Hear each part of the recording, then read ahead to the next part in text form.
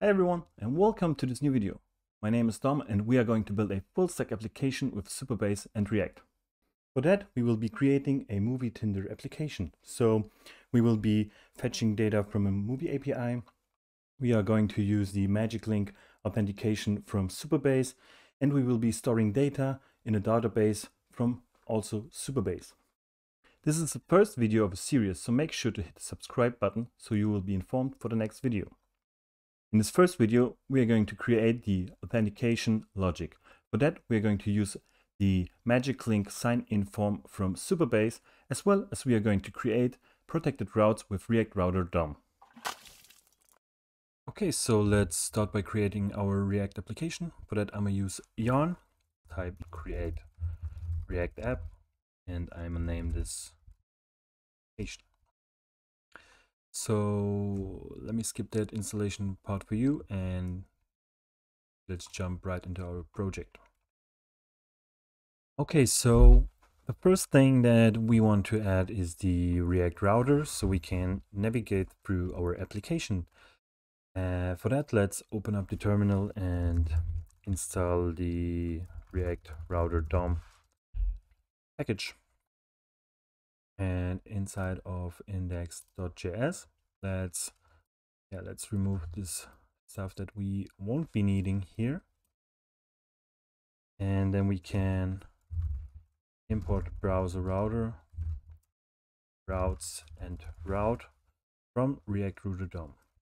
Okay, let's remove this. So we need to wrap the whole application in our browser router just like that as well as in the route as in the routes. And now we yeah need to to add the pages. So let's create them now. Create a directory called pages. Home file as well as a sign in component here we can yeah just create some functional components and let's just say let's give it a title sign in and here let's call it name uh, home and let's display just a welcome. So back in our index.js let's import the home component as well as the sign in component. And here then inside of our routes, uh, yeah, wrapper, uh, to, yeah, to set the routes. And here we'll be passing as an element the whole home component for our home page. Down here the sign in component. Now we need to set the path. So this will be our index. The sign in page will get a path which will be sign in. Okay, so let's start our development server and yeah, let's see if this is working.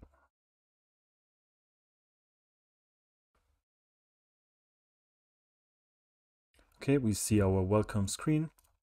And if we type in here sign in, we do get our sign in page. So the routes are working now. We can navigate through our application. So let's now add, before we, we start adding the, the authentication or the sign in logic, Let's add a layout component so we can add a, like a navigation for easier handling. So let's create a new components directory and inside of it, let's create a layout.js file. Okay, and simply create a functional component called layout, which will receive the children prop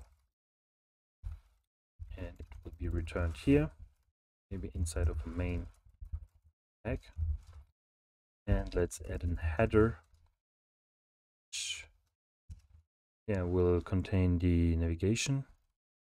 So for the links, we need to use the link component from uh, React Router DOM. So this needs to be imported here at the top. This one says home will be redirected to our index uh, page. And here we can say sign in.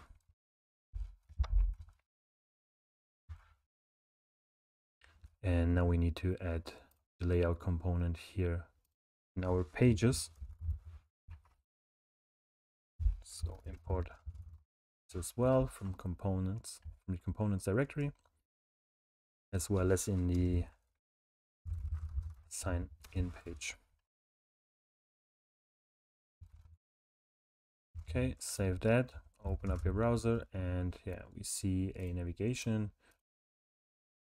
which navigates through the pages.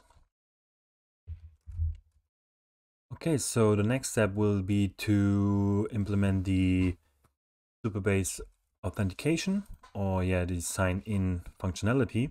So for that, let's create a Supabase project. Go to supabase.com and click on start your project at the top right corner. Here you need to log in with your GitHub credentials and you will be redirected to your dashboard where you can see your existing applications. Um, yeah, so let's create a new one. Let's give it a name, movie app. You need to set a strong password for your database. Like that. And then you can choose a region as well, but let me keep the, this for now. Click on create new project and this will set up your application. This uh, in general takes a few minutes, but what we do get and what we do need in our React application for now is uh, this endpoint as well as an API key, which we also get here. It's the anon key. Okay, so so good for now. Now let's go back to our React application and install the Supabase client. So for that, um, open up the terminal and yeah, call the yarn add add Supabase slash Supabase slash JS. This will install the Supabase client.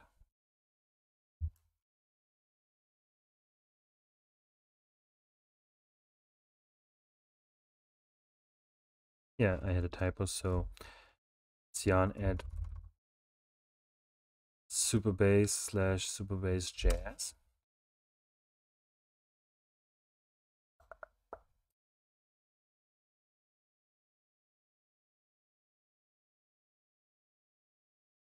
Okay, so let me close that. Uh, now we need to create our client. For that, create a new file inside of your source directory and let's import the create client method from Supabase. and here we will be needing the API key as well as the endpoint. So for that let's create an env file which will store our keys. And let's create two variables called react app Supabase key as well as React App Supabase URL. Let's copy that from, from our dashboard.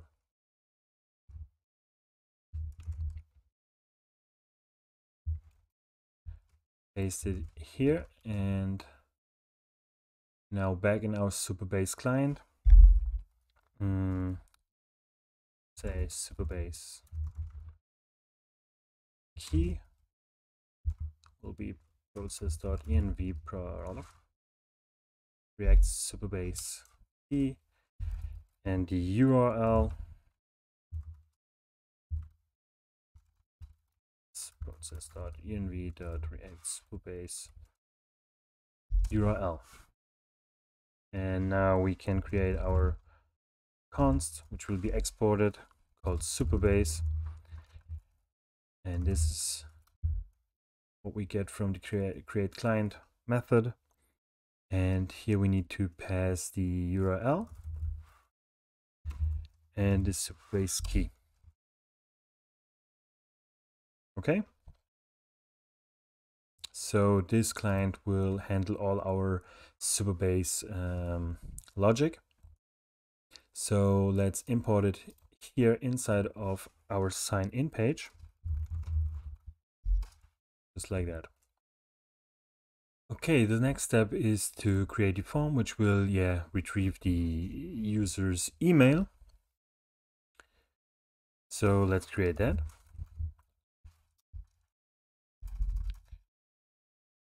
Here we only need a input of type email. Value will be, yeah, let's create a state for that and let's import the use state hook. So we can say const email is yeah initially an empty string. Then in our input field we can set value to email. And on change we will be changing the email's value. So here we say event. Set email to event.target.value all right and let's add a yeah, submit button which says sign in or let us say login or let's say sign in so this needs to be of type submit. And then we can create our handles sign in function.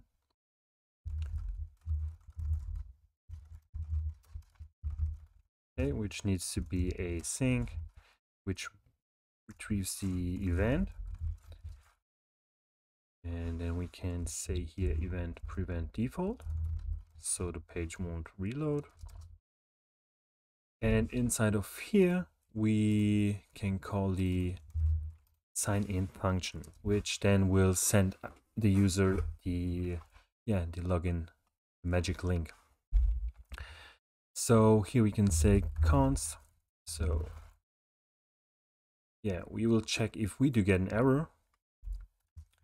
All right, so let's say await call supabase.auth.sign in and here we need to pass the email. And then we can check if we do get an error back. Let's console log that for now. And otherwise, we assume that everything works fine and we can, yeah, let's create uh, a message. So create a new state called message set it initially to an empty string. And so if this works fine, we say magic link has been sent. And then of course we display the message here if we have a message. And we need to add the on submit event here and call the handle sign in function. Um, yeah, the env file, what, what I see now is we have to uh, put inside of our root directory and not inside of the source. Okay, so um, now let's restart our dev server so we can, yeah, so we can bring our env variables work.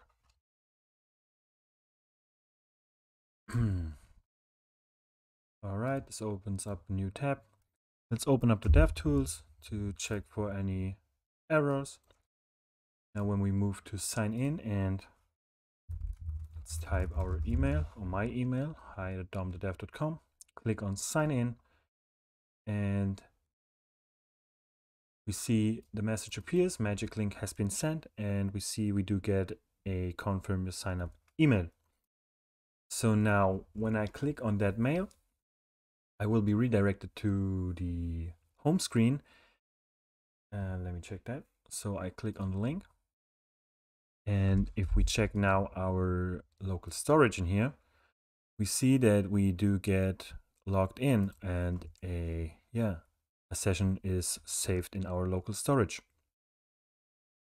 So the next step will be to create, um, yeah, the whole authentication flow like protected routes. So let's go back into our app and for that, um, yeah, let's close this stuff for now.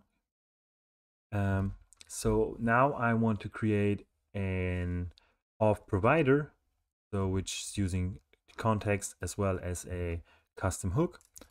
So let's go and create a new file and let's name it auth.js.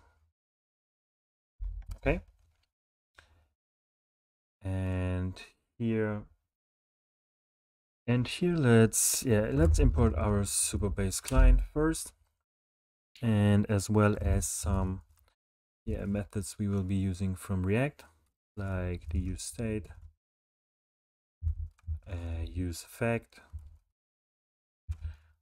We are going to need the use context as well as create context so I guess this is this is it.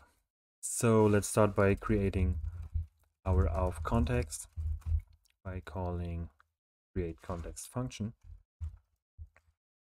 And next will be our auth provider, which we will be exporting. Say auth provider, which gets children passed. Okay, and so here we are going to call our custom hook, which we will uh, implement in a second. Let's say const auth is use provide auth. Okay, whatever we get from here returned. And then we simply return the auth context provider.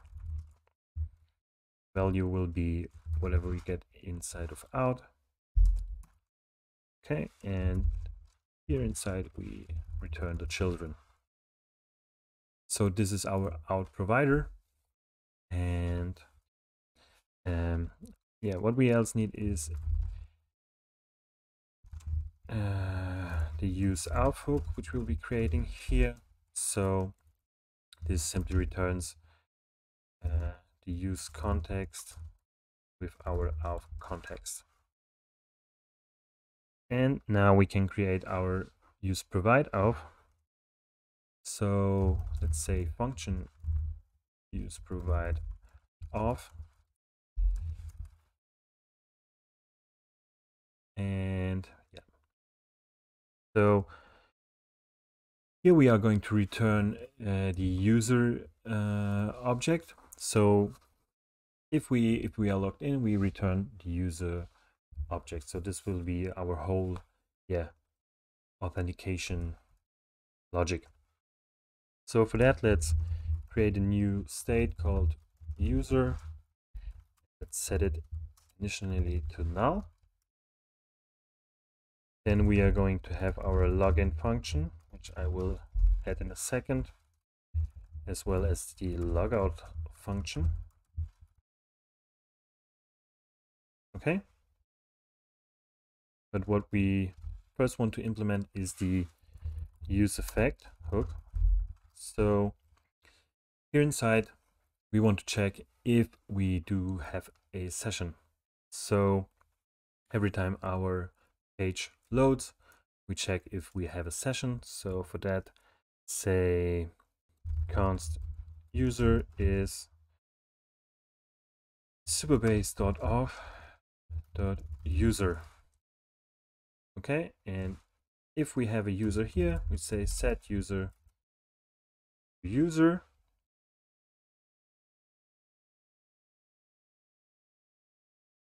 and what we need here is a dependency array okay and at the end let's just return we are going to return our user as well as our login and out function. Okay. Mm, let's also uh, add here an on auth change handler or listener.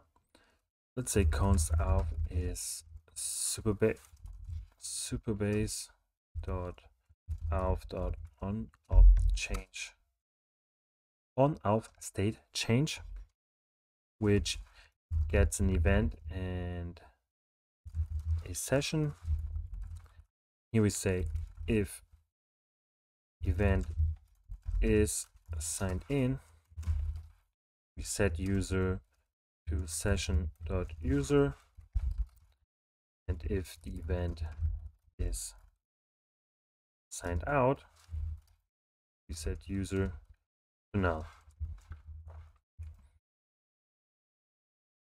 So here for the for the return let's call of dot unsubs unsubscribe.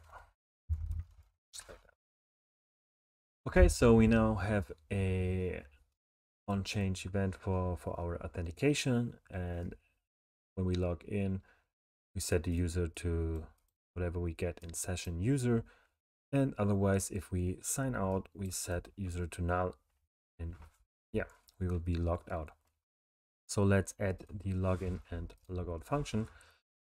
For the logout for the, login we can simply copy that from from our sign in page. So let me copy that.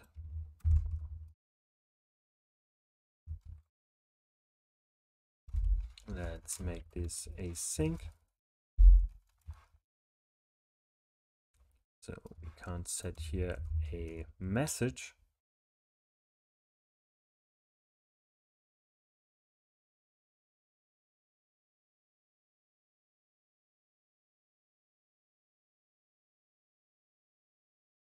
and here for logout let's say. And here in and here in login we can say const error. Wait supabase auth sign out. And as well this function needs to be async. And if we don't get an error, we say set user to null. And yeah, if we do get an error, log it. Okay, and now we have our, yeah, use of provider hook stuff set up. So now we need to, yeah, wrap our application inside of this auth provider. So let's import it here and wrap wrap our app inside of it. Okay, so what I see here now is that we do get an error. So email is not defined, which is right because we need to edit here. Okay. Now this function needs to be called here inside of sign in. So yeah, we won't be needing this here anymore, as well as the Supabase client. But what we do need is the use auth hook. Let's call it here. Say const auth is use auth. And now here we can simply say auth.login as email. So what we are missing now is the message. So let me adjust that in here. Let's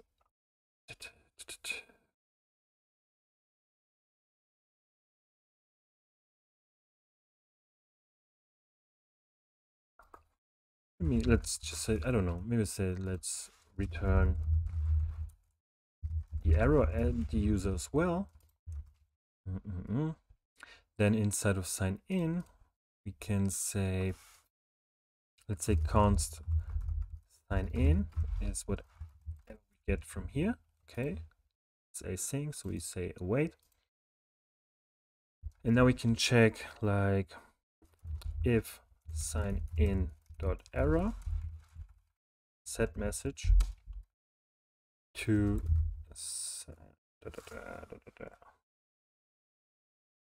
to sign in dot error dot message so we do also get here a message. So we can yeah set the message to that. Or else set message to login link has been sent and if this is done we can say set email to an empty string okay so now our app is uh, wrapped in the auth provider and yeah, let's create our protected route. So here inside of components, let's create a new component called protected route. Here we need to import our use auth hook and we will be needing the navigate component from our React router DOM. Then we can say const protected route, which is retrieving the children object. And here inside we call our use auth hook. And then we are returning. If we do have a user, simply return the children.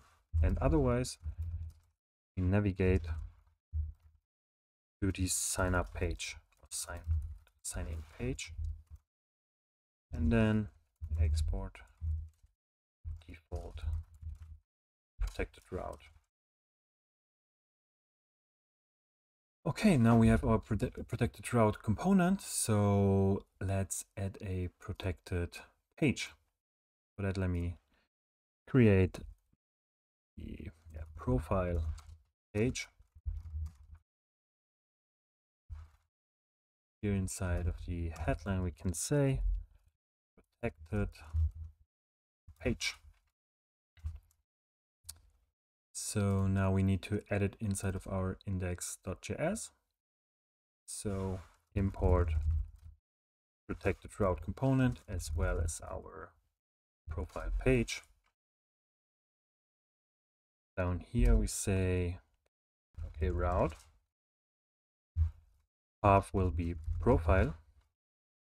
And as inside of the element, we yeah we we return the protected route which is wrapping our profile okay so it looks like this now yeah let's save this and check check our app so yeah, we need to add it well to our navigation. So let's say profile. And as we are currently logged in, we should see the protected page. Let's add here our layout as well. Okay, and yeah, we see our protected page. Now, when we log out, so let me just kill that, you see we will be redirected to the sign up, sign in page. Okay, and if I click on profile, I will be instantly redirected to the sign in page. Okay, and so we have our protected routes. What I want to add now, or what, what, what we are missing is the log out button so let's add that here simply. And maybe down here. So it doesn't be, have to be a link but a button which says logout. And on click um, let's yeah let's just call the log logout function. But for that we need to once again import use Auth hook. Call it here just like that. Now we also can say okay.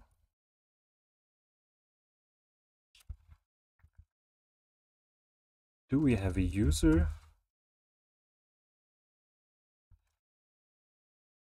Then say log out and otherwise say sign in. Now we can call the auth logout function here okay so let's uh, play the whole game again so go to sign in type in your email and sign in,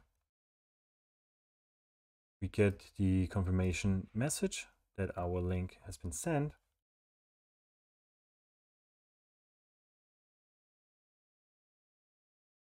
Now I get the email and when I click on the link, yeah, I'm here on our index page and here in the navigation you already see that we see the logout button we can visit the protected page. And if we click on logout, we will be logged out and we're redirected to the sign in page. Okay, so this was the first video of the series. In the next video, we are going to fetch data from the movie API and then we are going to create watch lists. So we are going to save data in PostgreSQL database. So I hope you enjoyed the video. Please hit the subscribe button and hope to see you in the next video. Bye bye.